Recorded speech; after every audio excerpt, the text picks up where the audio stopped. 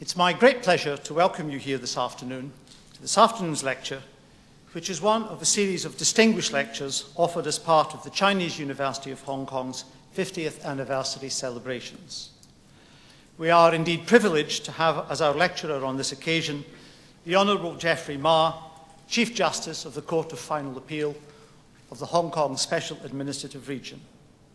The Basic Law provides a guarantee of rights and liberties, enabling everyone who lives and works in Hong Kong to live a full life, pursue happiness, and have the peace of mind of knowing that there is an entity, the law, before which everyone is equal and on which reliance can safely be placed to protect them and their families. The phrase, all are equal before the law, is often taken for granted.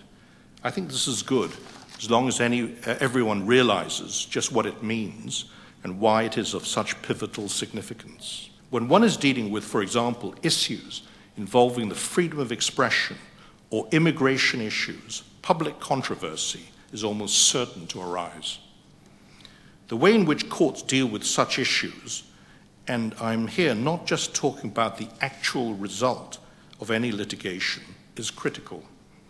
It is critical because the way in which a court approaches such cases, its methodology, and most important of all, its reasoning, will demonstrate whether those principles which provide the foundation of our legal system have been applied. They are controversial in that a sizable proportion of the community will have very strong views one way, and an equally sizable proportion of the population will have just as strong a view the opposite way. Sometimes the vast majority will have strong views against only a tiny minority. What do the courts do in such situations where, whichever way they decide, a sizable number of people will disagree with if not protest against a result that is reached? The answer is, of course, ultimately quite a simple one in terms of the court's approach. Whether or not a case is a high profile one, or involves controversial top, uh, topics, or is just a run of the mill one handled on a daily basis by the courts, the approach is exactly the same, and it is a principled one. The court will simply apply the law to the facts and the judge or judges will do so adhering to their judicial oath.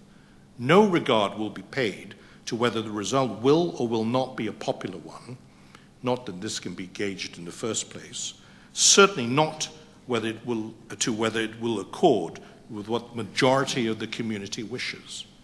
Indeed, to have regard to such matters is really quite out of the question. It is therefore inevitable that the courts will, from time to time, face criticism, sometimes quite fierce, from sections of the public.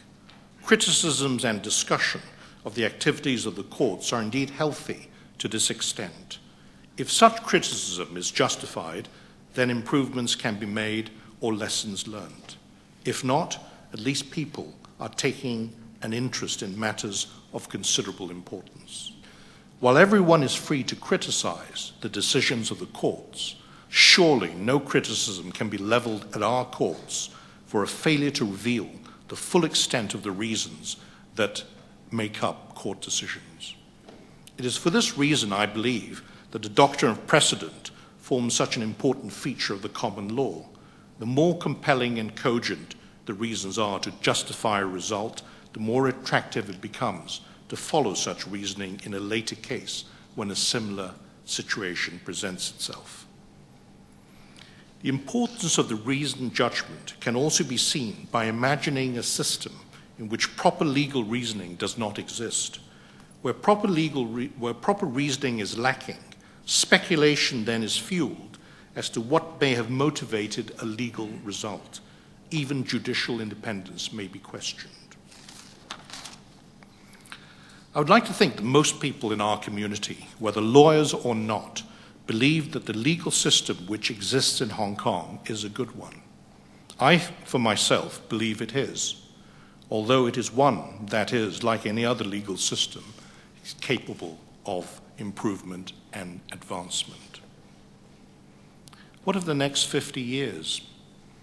It is perhaps not too early now to begin to think about this At some stage, important decisions will have to be made. In my present position, I'm concerned with Hong Kong's system of law. One of my main responsibilities is for the judiciary to continue to earn the respect and confidence of the community and all who are concerned with Hong Kong. If the judiciary can continue to do what is expected of it, this then is a system that is worth preserving.